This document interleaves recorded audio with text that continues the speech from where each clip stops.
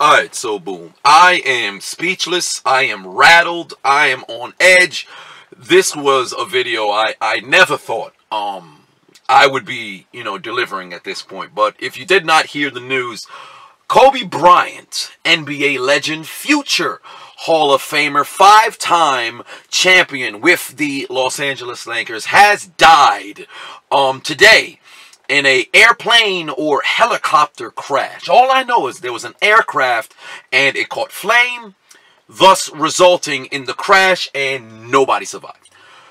Confirmed is Kobe Bryant, and there's four other individuals. I'm not sure if there was a pilot or Bryant was piloting, you know, the aircraft himself. I'm hearing reports one of his daughters was with him. Others are not confirming. I've heard Rick Fox was on the plane.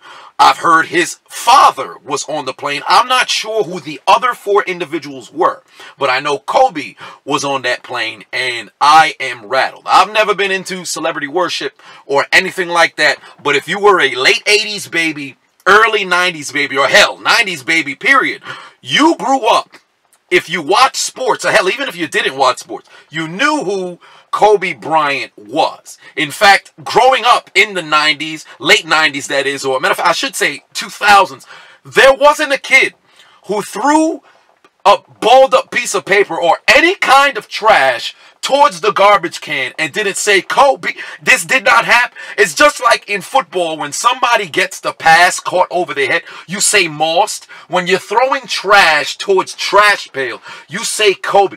This man had an impact on everybody's life. Even if you weren't a Kobe fan, you probably rattled right now because of what this man meant to the game, what he meant to American sports. This is just wild. And what's What's killing me is we didn't even get a chance to hear this man give his Hall of Fame speech, let alone have him sit there and watch the unveiling of of his his statue in front of you know uh, the Staples Center. We didn't see him actually get inducted into the Hall of Fame. He had a ton of stuff that he was planning to do, and more importantly, this all happening a day after LeBron James just passed him on the third, you know, uh, uh, for third all time on the scoring list. So he was already on our minds. And to have this happen, what? He just retired three years ago. Well, four, I guess two, three and a half now. This is craziness. I, I, I, I don't know what to think. I'm not sure what to feel everybody is just completely on edge. And I was in the midst of recording the Pro Bowl skills, you know, competition, a uh, uh, commentary. And then all of a sudden, bam, I get this alert. I'm like, what the hell just happened? And when it came from TMZ, uh, from TMZ, I didn't expect it to be legit because TMZ, you know, they, they don't always have confirmed stories that are not fictitious. We heard Bill Cosby died. We heard uh, Jackie Chan died. We heard uh, uh, uh, somebody else had died. And numerous individuals in which none of them happened to be real. But this one was one of those situations where TMZ reported and they were the only one who reported for about six minutes.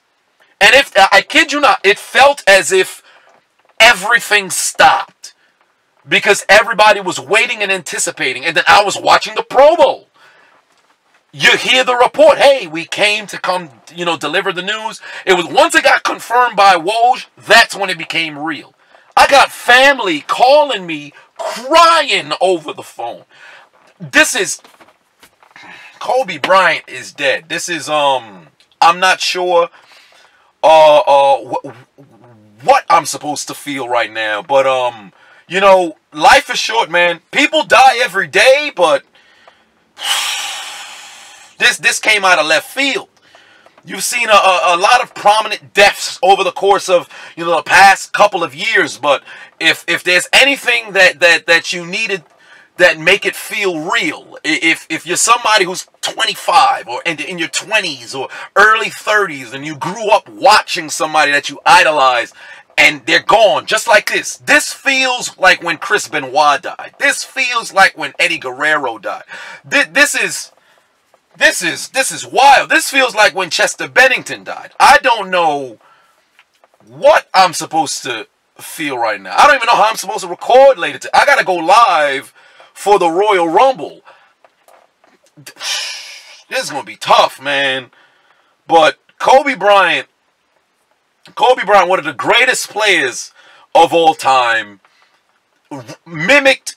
You know, he, he may have had the moves of, of Michael Jordan, but nobody did it the way that he did it. One of the greatest of all time, undeniably, you know, a top five NBA player. His legacy will never, you know, be questioned. And all you can do is pay this man the respect. Hell of a basketball player, hell of a person. And uh, all I can do is extend, you know, my condolences to his wife because we know it was confirmed that she was not on the plane. I, I can only hope that his daughters uh, um weren't on the plane. Good lord, he just had a he just had a daughter too, man.